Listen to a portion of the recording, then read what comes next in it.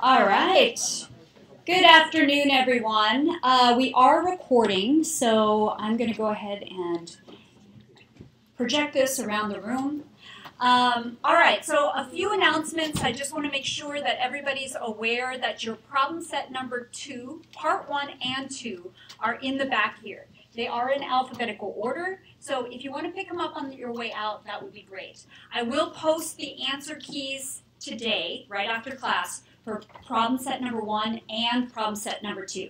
So I want this weekend, one of your, I guess, homework assignments or tasks would be to compare the answer key with what you got, okay? I want to make sure that you know exactly where you went wrong on some of those uh, questions.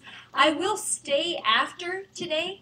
Um, if someone's still struggling with which way an ion is moving, I'll just go to the board. You can kind of gather around in that area over there, and I will go through any questions that you have so far about the problem set if you can stay. Otherwise, you can always make an appointment with me uh, during my office hours, okay? So I just want to make sure at this point you should be, uh, you should feel really good about problem set number one and number two at this point. You should have mastered those concepts. Okay? Any questions about that? Again, you can stay after class and we can I can answer all your questions then as well. All right. So uh, today, uh, when we get to the section, Megna and I are going to pass out another case study on cystic fibrosis today. And uh, the case study is actually just one page back in the front and back, but the questions are a completely different uh, a completely different form, okay? And you only have to turn in the question sheet. You don't have to turn in the case study that just kind of rolls out the case, okay? Um, so we'll pass that out when we get to our section on cystic fibrosis today. All right, so let's go ahead and get started where we left off. Are there any questions right now about where we're going? Today we're going to finish up with facilitated diffusion and we'll start with active transport. All right, so here's where we left off last time. Just want to make sure that everyone remembers this particular animation. You can actually just, um, just uh, copy and paste the link if you'd like. But uh, what we were talking about last time is basically the three different gating properties, the states associated with the voltage gated sodium channel. So these are channel gating during an action potential. We focused on the voltage gated sodium channel. And you'll notice when there's a slight change in the membrane voltage, here's the three different states. This is the activation gate. It activates, inactivates, and then recovers from inactivation and goes back to the closed state. So this right here, this M gate is the activation gate. This is the inactivation gate. Okay? So I'll wait for it to go on one more loop just so everyone is clear. Now it's in its closed. Oh, wait, hold on. Sorry. Okay, so now it's going to recover from inactivation. I'm sorry, I'm messing you up. Hold on just a second. Now it's closed, right? This is the closed state. Now it goes from closed to open. That's called activation. Inactivation, that's when this H gate closes. And then it recovers from inactivation. Okay, pretty good? Anybody have any questions about that? So what you need to know is the terminology. You need to know the three different states, closed, open, and inactivated. And then how to describe the transition. Activation is when you go from closed to open. Inactivation is when you go from closed to inactivated state. And then the channel needs to recover from inactivation. All right. So let's keep going. We've got a few brain teasers today. Uh, I'll get your, we'll use our top hats in just a second. So make sure you have those devices close close by. If you need some text uh, to what I was just saying, you can actually read this at home. This is actually talking about activation, the activation gate, and inactivation. Now, one other term that we haven't talked about is under physiological conditions. This doesn't happen normally.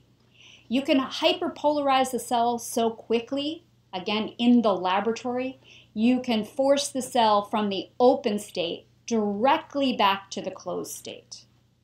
And that's called deactivation. Okay, and that's written right here. It's actually right here. It talks a little bit about deactivation as well. Okay, channels transitioning from the open to the closed state undergo a process called deactivation. That doesn't normally occur. Again, you can force it to happen in a laboratory just by hyperpolarizing quickly. All right, so um, let me just say, let me go back and just make sure that we understand uh, where we're going. We've already talked about conductance. We talked about gating.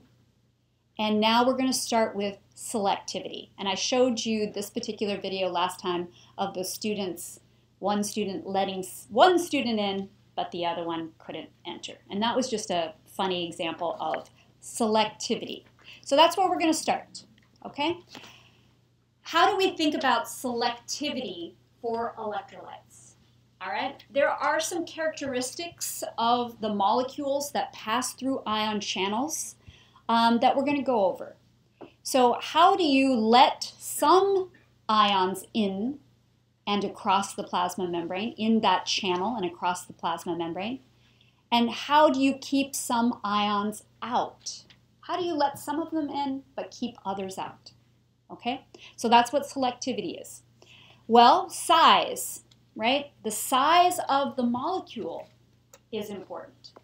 Okay, so you can imagine if the pore region of a channel is very small, it's only going to let smaller ions in and it's going to keep larger ions out. Okay, so that's one. That's, that's intuitive. That's not too hard. All right, the other is interaction of charges within the pore. That's the second one here. Interaction of charges within the pore. You can actually see this is a cross section of an ion channel. This is an anion channel. And what you'll notice with anion channels is there are these positive amino acids, these positive residues that actually line the interior of the pore region and it attracts negative ions like chloride and bicarbonate, but it repels other cations. So charge is important, and, and the interaction of charges within the pore. Okay, that's not too difficult either.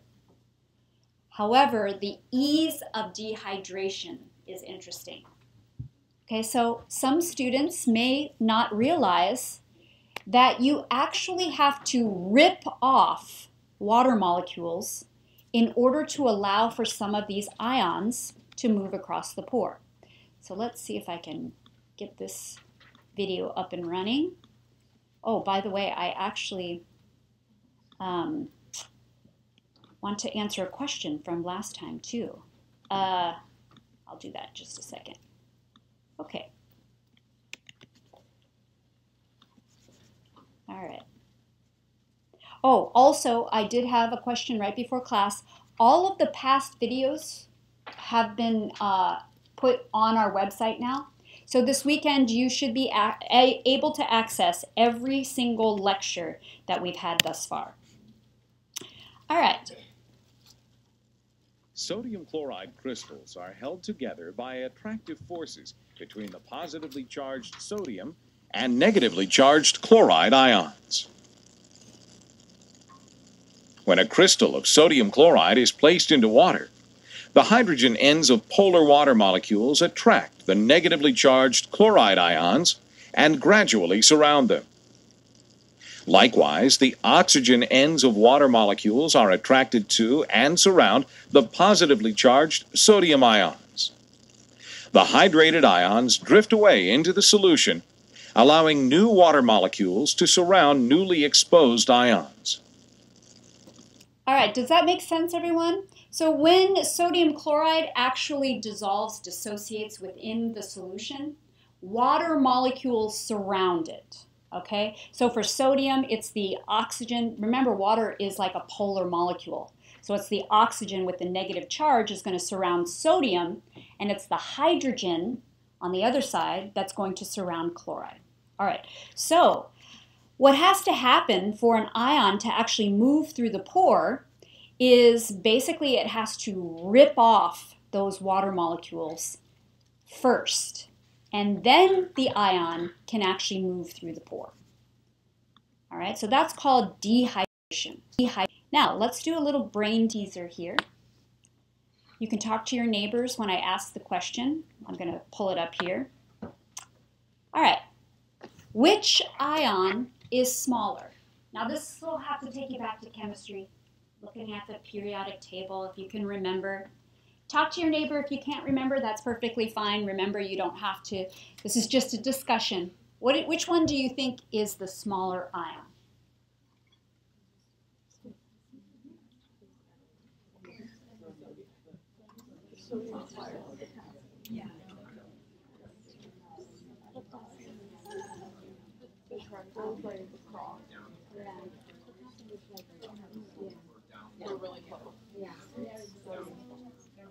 Which ion actually has the smaller radius? Smaller ion.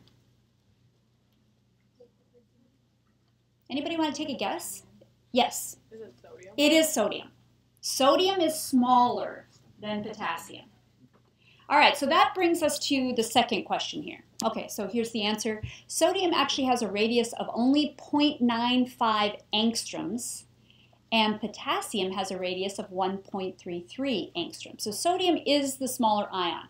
So there are in existence highly selective potassium channels, right? How is that possible? How can an ion channel be highly selective for potassium? Okay, because sodium's the smaller ion, they both have the same charge. How is it possible? Basically, that we have these highly selective potassium channels that repel sodium. So I'll let you talk about that in just a second. Give you a couple minutes to maybe come up with some ideas.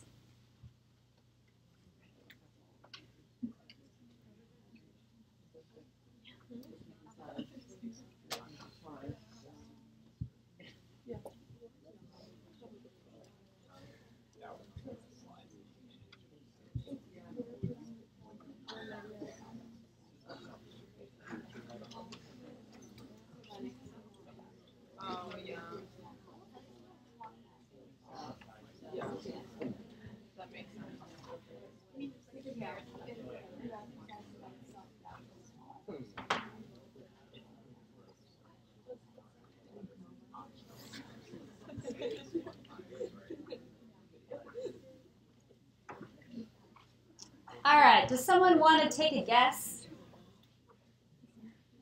An educated guess? What do you think? What could it be?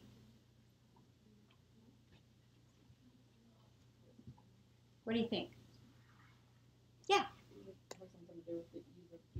Yes, it does. Yes. So I kind of led you into that, but yes, you're exactly right. It's the ease of dehydration, but let me just show you how elegant this is. Now, sodium is the smaller ion, but it hangs on to that water molecule a little bit tighter than potassium. All right? However, this is the cool part.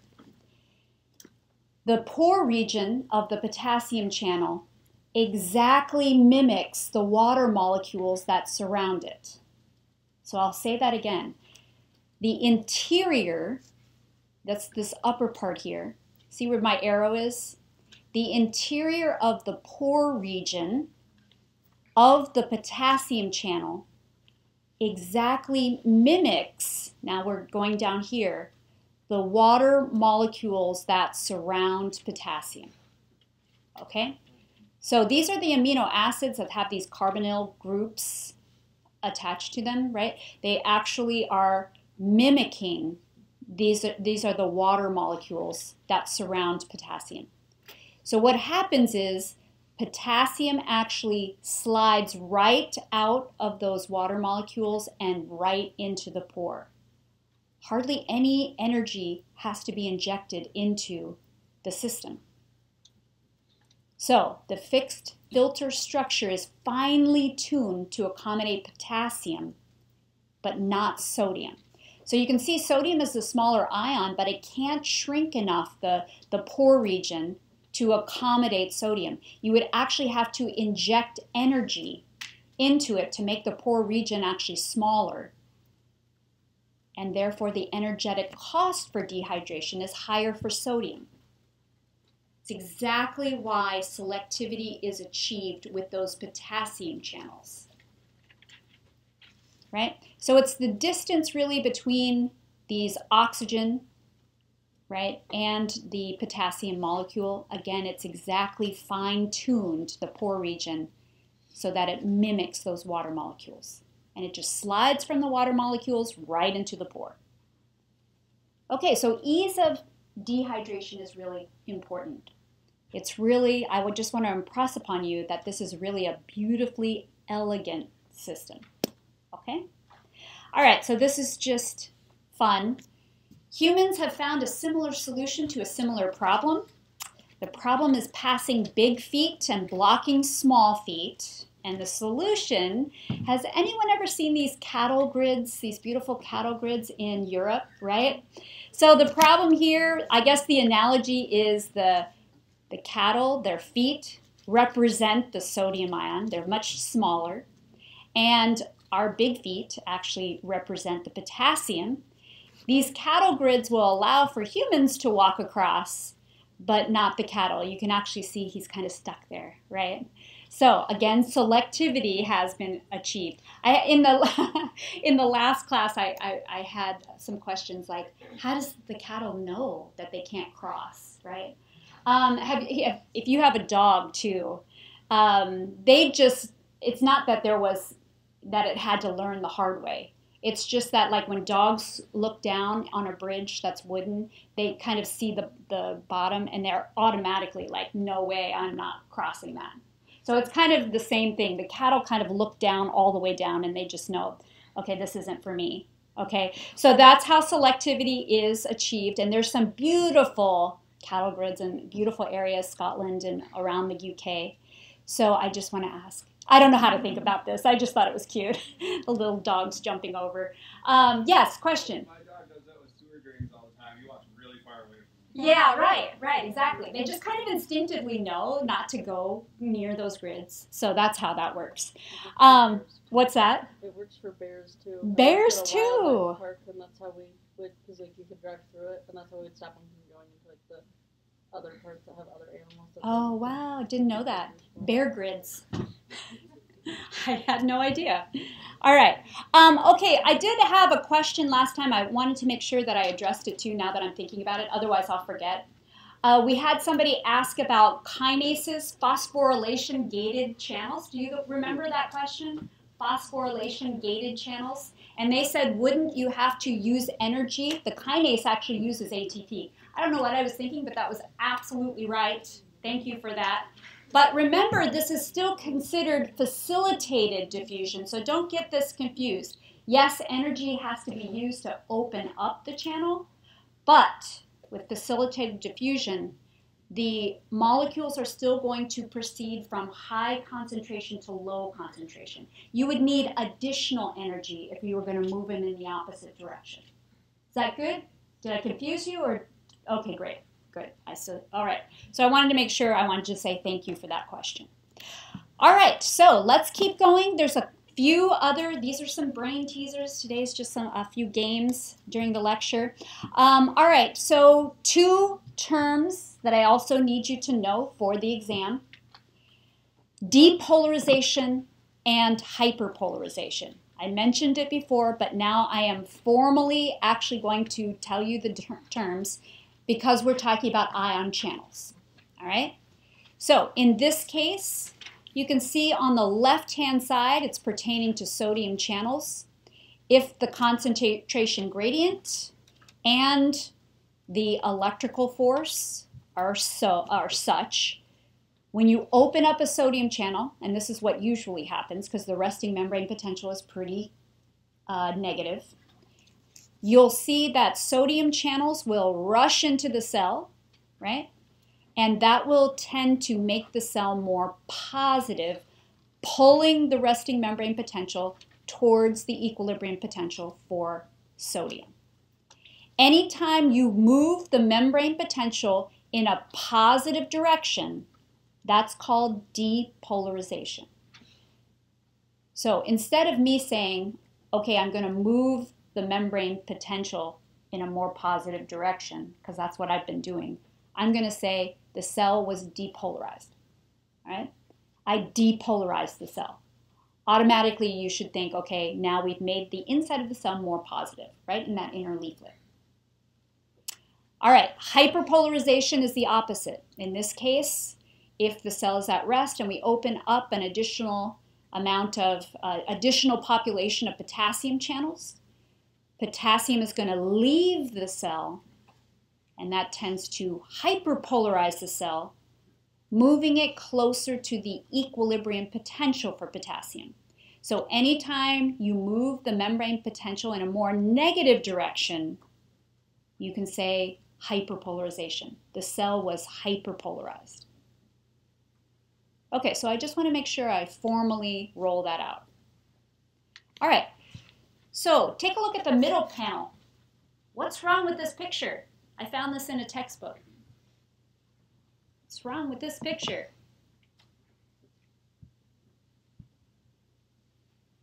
Take a look at the cell and the graph at the bottom, the middle panel.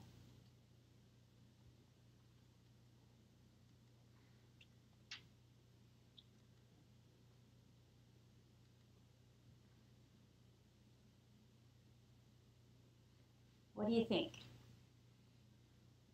Want to take a guess? If there's no ions moving across the membrane, what should the membrane voltage be? What's that?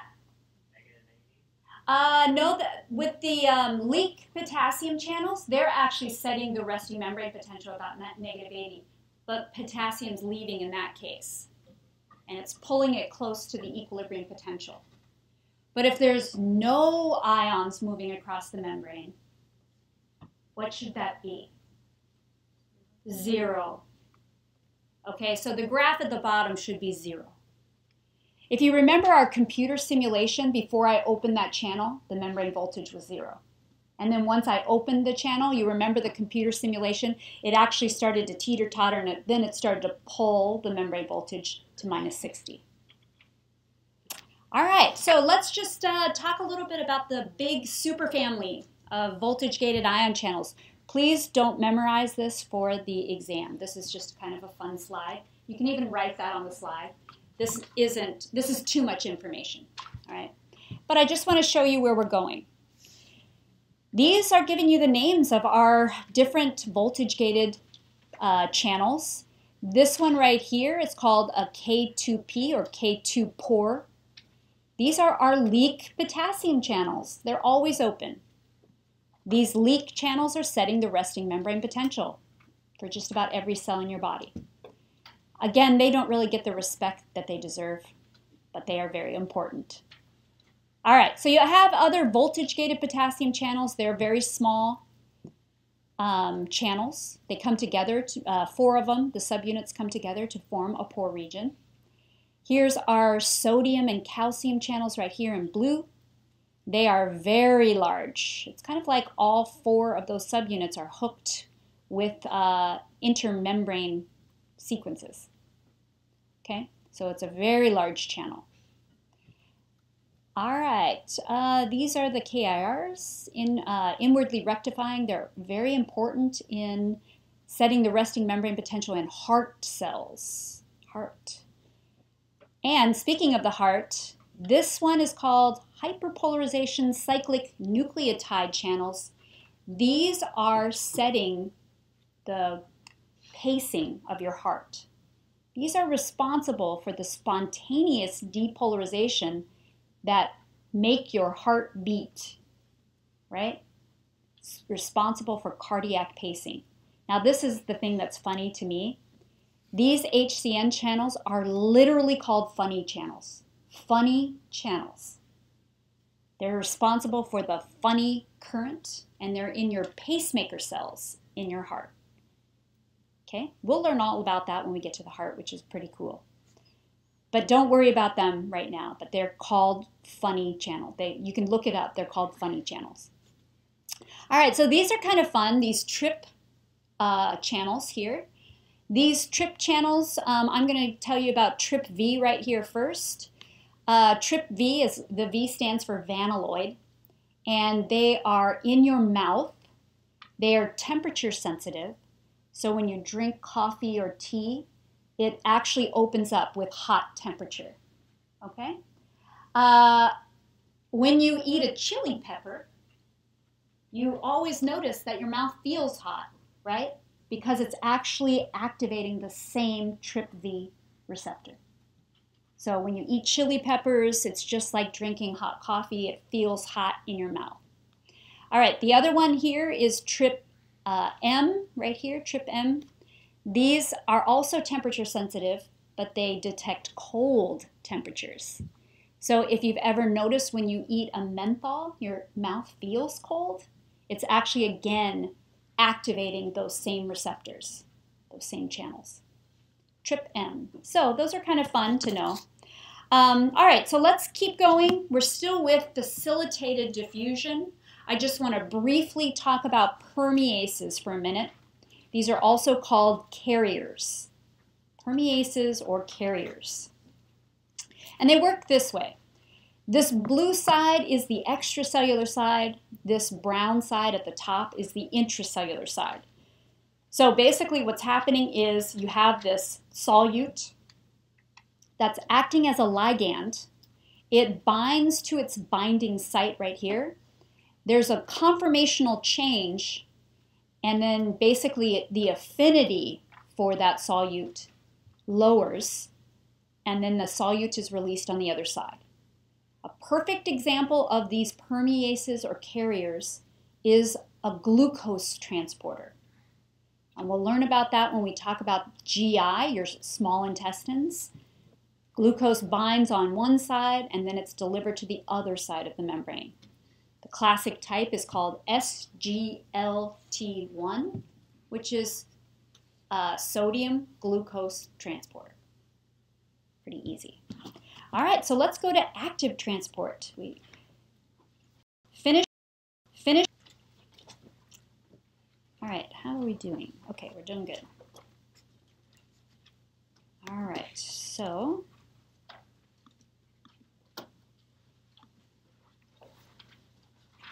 Um, let's see here. All right. So we're going to go through active transport now. And we're going to have you get your top hat questions out or your devices out. Uh, again, if you want to take a look at the learning objectives, they are listed. Just blow this up a little bit. All right. And you can take a look at this at home. I think it'll make more sense after the lecture, so I'm not going to read through them now. So remember with active transport here, this is the same slide that I just showed you. You do need to inject energy into the system with an active transporter. It uses, it harnesses that energy, and it moves molecule against their concentration gradient. So this little triangle on the far right side here is telling you something about the concentration gradient. It's high on the outside relative to the inside, and you can see this active transporter is moving solutes against their concentration gradient. Okay? And again, solutes move in both directions. Well, no, they don't, actually. Um, with passive diffusion, they do. And then you have to take into account the net diffusion. But with active transport, again, they're moving opposite to the direction predicted by the concentration gradient. Okay, so if you were filling out that chart that I kind of start, had you start last time, just remember with active transport, a protein transported, transporter is needed, energy is required, and molecules can move from low to high. So let's take a look at the two types of active transport. The two main types are primary active transport and secondary active transport. So with primary active transport, it actually harnesses the energy from the hydrolysis of ATP. So when ATP is broken down into ADP and an inorganic phosphate group, then basically it gives off energy. It's an exergonic reaction. Okay?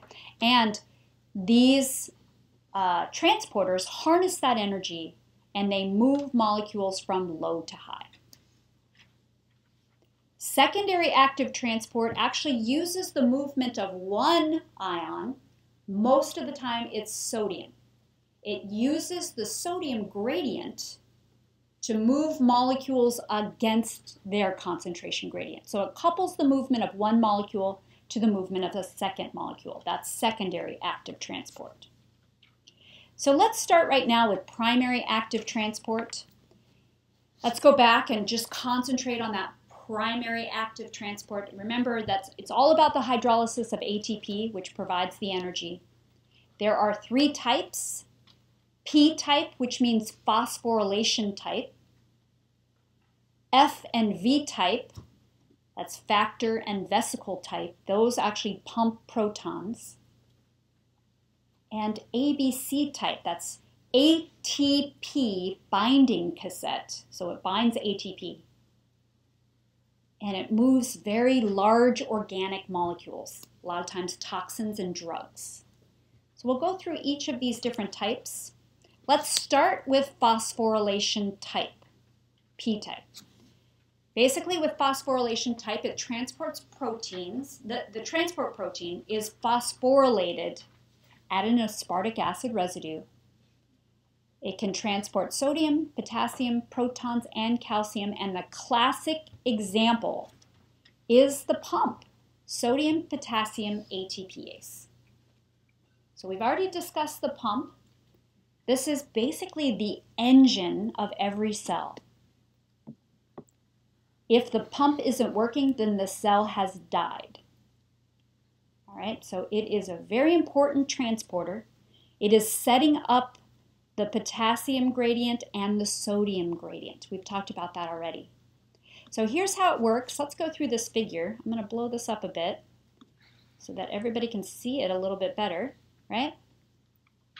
All right, so what you have here, we're going to look at the first panel.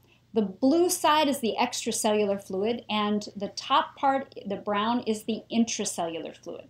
Okay, so remember with every turn of the pump, the pump removes three sodium out of the cell and brings in two potassium into the cell. That's what's establishing that those gradients. High sodium on the outside, low sodium on the inside high potassium on the inside, low potassium on the outside. So how does it work? Uh, first of all, ATP binds to the transporter. And now at this point in, in this conformation, the transporter has a high affinity for sodium.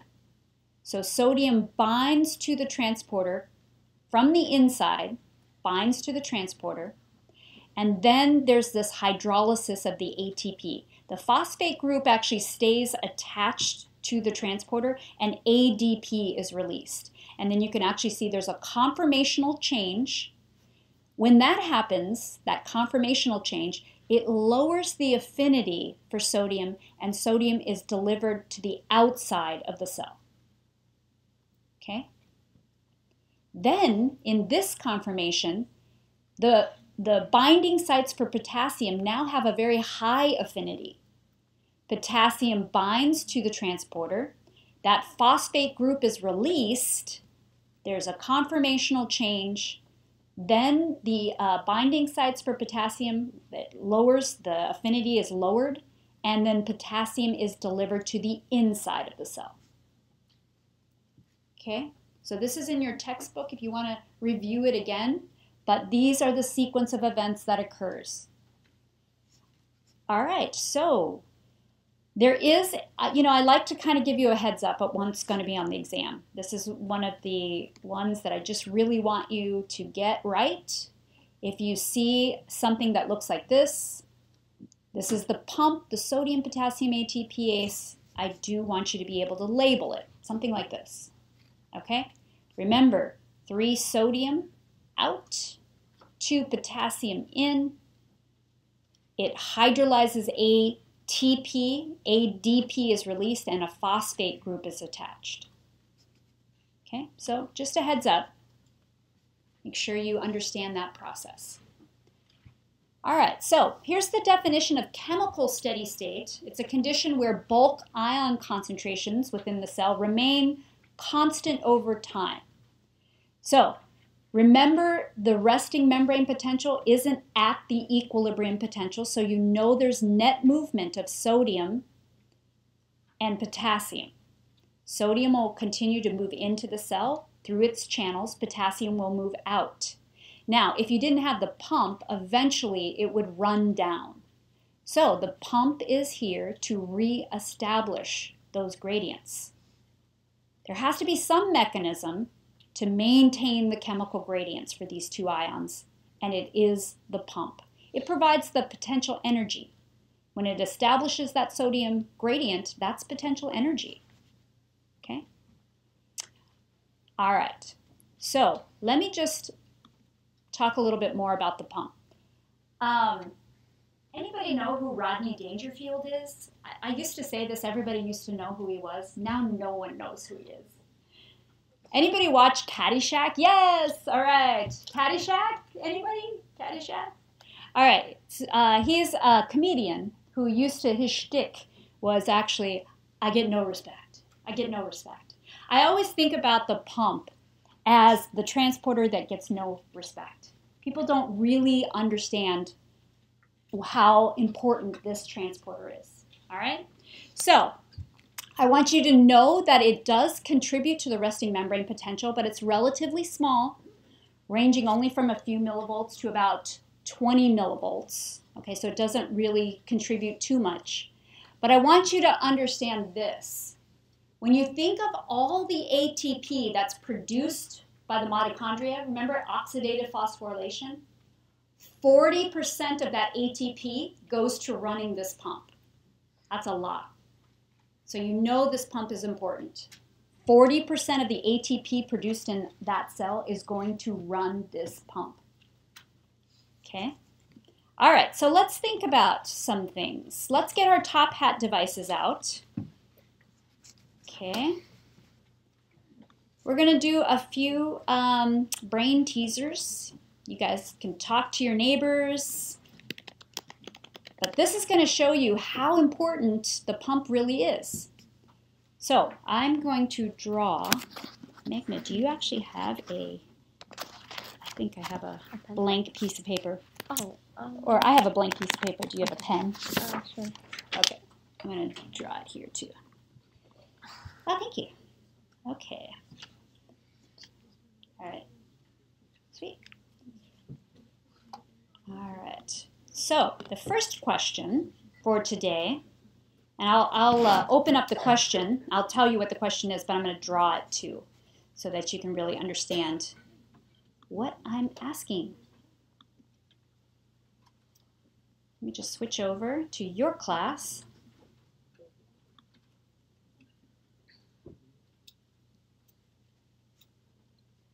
All right.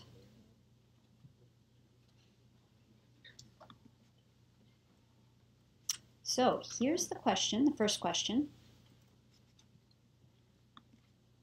All right. So the question is if we block the sodium potassium ATPase or the pump with a drug called ouabain. ouabain is an inhibitor of the pump.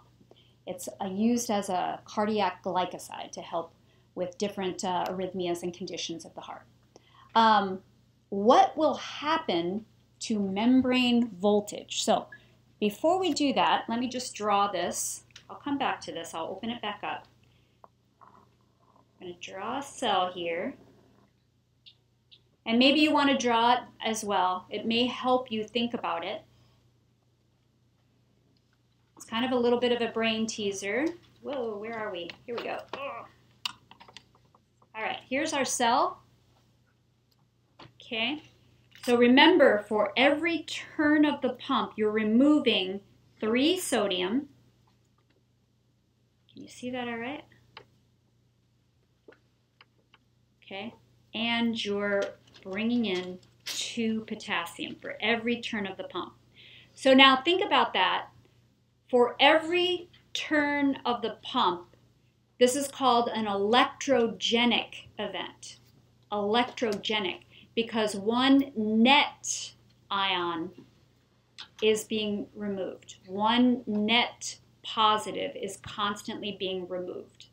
So if we block this, with ouabain, how is that going to affect membrane voltage? All right, how is that going to affect membrane voltage? All right, so I'll let you answer. Is the membrane voltage going to become more depolarized? Is it going to be depolarized, I should say? Is it going to stay the same? Or is the cell going to hyperpolarize? Now you know those terms. You can talk to your neighbor.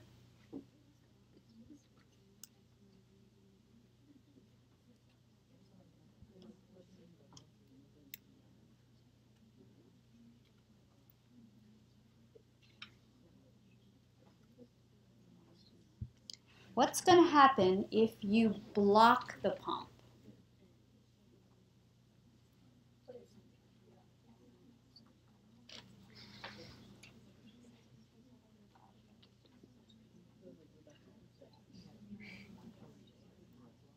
All right, we have 81, 82 people that have answered. I'll give you about 10 more seconds.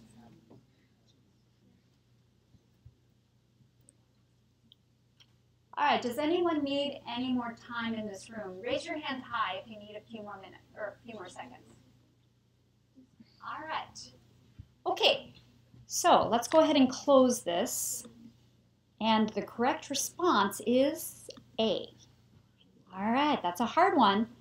Let's go back to our document camera. Most of you got that right, so kudos. But let's see what we're dealing with here. All right, normally when the pump is working properly, it will remove one positive ion, right? If it stops, then you're going to get an accumulation of sodium inside, and it's actually going to depolarize the cell. Okay? Does that make sense? All right, so the next one. Let's go to the next one here. Obviously, the pump is important. It has some effect on membrane voltage. What about this one? If we use the same drug, what's going to happen to cell volume? Now I won't lead you on this one. What's going to happen to cell volume? Is the cell going to shrink? Is it going to stay the same? Or is it going to swell?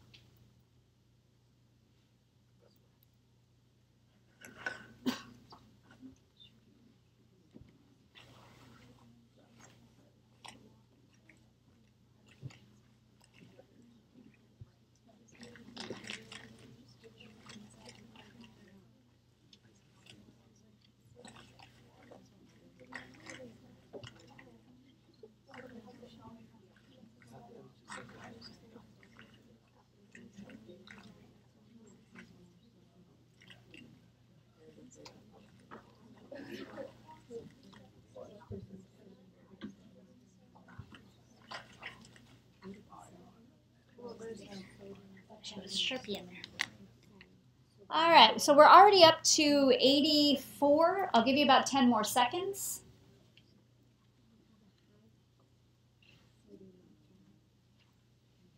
Anybody need a little more time in this room?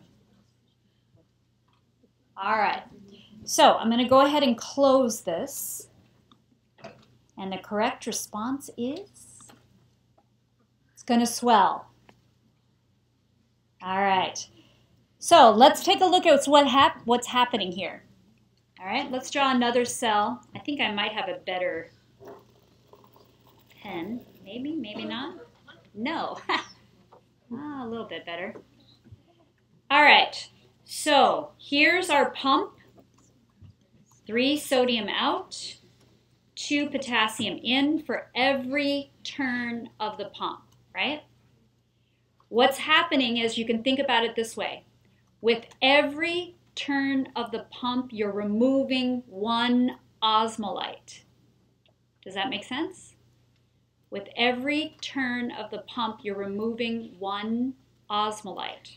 If you block it, you're going to start to accumulate osmolytes. And what's going to happen? It's going to lower the water molecule concentration, and water is going to move into the cell and it will swell. Does that make sense? You're going to accumulate osmolytes and water will move into the cell and swell. Now, just so you know, if you add ouabain in the laboratory to cells, what does it do? It depolarizes the cell and it makes them swell. You can actually see that in the laboratory. That actually happens. Okay? All right, any questions so far? Now I have to give you one, this is a real brain teaser. This actually requires two different transporters. Okay, here's the cell. Remember our pump, sodium, three sodium out, two potassium in. Okay, now I'm going to tell you about a secondary active transporter. A lot of times primary active transporters and secondary active transporters are coupled. All right, so here is a really cool transporter called an exchanger. It uses the sodium gradient to remove protons from the cell it uses the sodium gradient to remove protons, hydrogen ions, from the cell. Okay? So what happens if you use ouabain? What happens to the pH within the cell? That's the next question. You can write that down. If we block the cell with ouabain, what will happen to the pH in the intracellular compartment? Talk to your neighbor. This is like a two-step process. Is it going to become more acidic? Is it going to stay the same? Or is it going to become more alkaline? Is the pH going to rise?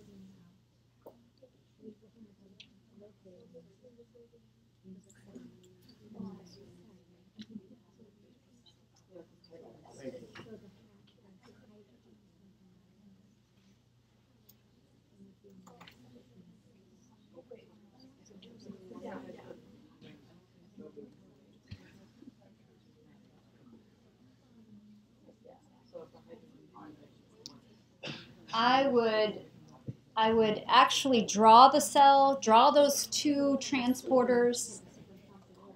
Then it's easier to see.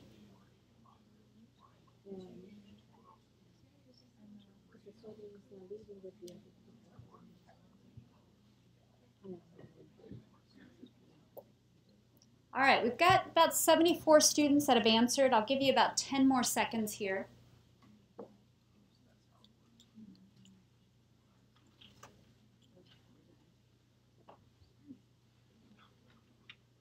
All right. Anybody need a little more time in this room? All right. Okay. So go ahead and close it, and the correct response is A. Ah, okay. All right, good job if you got that right. If not, let's go through it. Let's talk about this for a minute. All right, what's going to happen to the concentration gradient if you block the pump with ouabain. what's going to happen to the concentration gradient? Well, sodium is going to fall on the outside, right? That's going to reduce the energy. You're not going to be able to have, right? Sodium's going to fall. You're not going to have as much energy from the sodium gradient to remove protons from the cell. So you're going to accumulate protons in the cell and it's going to acidify. Okay? So really think about that this weekend. There is a question pertaining to uh, intracellular pH on your exam. Uh, if you're still confused, I will stay after. Remember, I'm going to be here for a little bit. Uh, we'll roll out cystic fibrosis on Monday. All right? All right, have a great weekend, everyone. And we'll give you your cystic fibrosis um, uh, case study on Monday. Have a good weekend. Can I give you the part two or should I email it? You can email me a picture if that's cool. Okay. All right.